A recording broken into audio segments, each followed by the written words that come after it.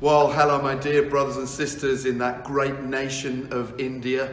My name is Nick Hughes. I'm the pastor of Emmanuel Church in Lee, in southeast London, in the UK, and it really is an incredible honour and privilege to be able to join with you to pray in this real emergency at this time.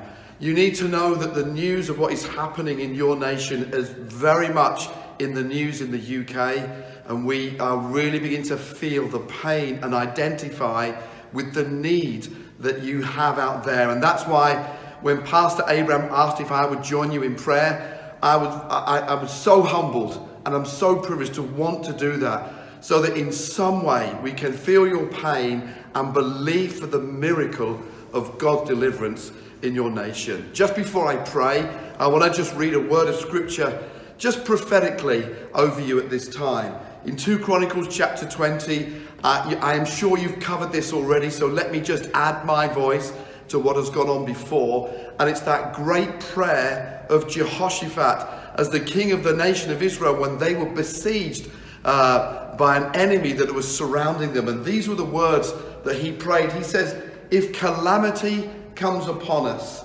whether the sword of judgment or plague or famine, we will stand in your presence before this temple that bears your name, and we will cry out to you in our distress, and you will hear us and save us. And just a few verses later on, it says these words For we have no power to face this vast army that is attacking us. We do not know what to do but our eyes are upon you. And in this great gathering of so many people that are praying right now, we collectively join with our eyes upon the God of heaven, who is able to do anything and all things when we turn our faces towards him. So I'd like to pray with you now, and I would ask that you would join me. Lift up your voices, lift up your hands and your hearts to heaven and let's begin to intercede and come before the face of our God together. Myself here in my country, you in your country, but one in heart and spirit before the same God that we love and serve and believe for a miracle of deliverance. Come on, my brothers and sisters, let's pray, shall we? Our Heavenly Father, we thank you. You are the God of the universe.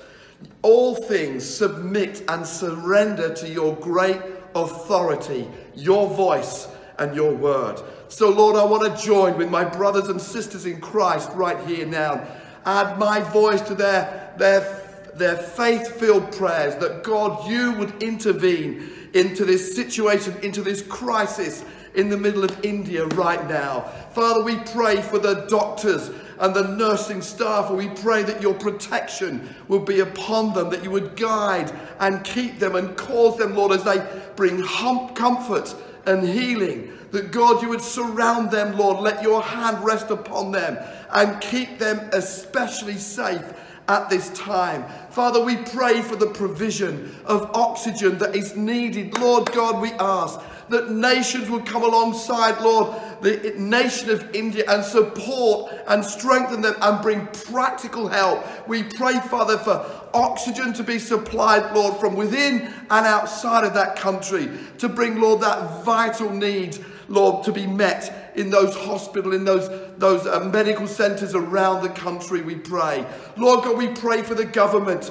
We pray, Lord God, that somehow, Lord, they would lift up their eyes to you and draw help and inspiration and grant them wisdom, grant them insight, help them, Lord, to know what to do. As Jehoshaphat prayed that prayer, let it become their prayer, that their eyes are upon you, Lord God, and may they see the deliverance of the God of heaven, Lord, working for them and for the people of India at this time, we pray in your mighty name. God, we just pray for the church that the church, oh God, would carry the light and the hope of heaven into needy situations. Protect your people. Guide them, Lord, I pray. We pray for those that have already lost loved ones. We pray, God, that you, the God of comfort, would surround each one, we pray. And Lord, let the name of our God be honored and glorified through this, we pray. We ask it in the mighty name of Jesus. Amen and amen.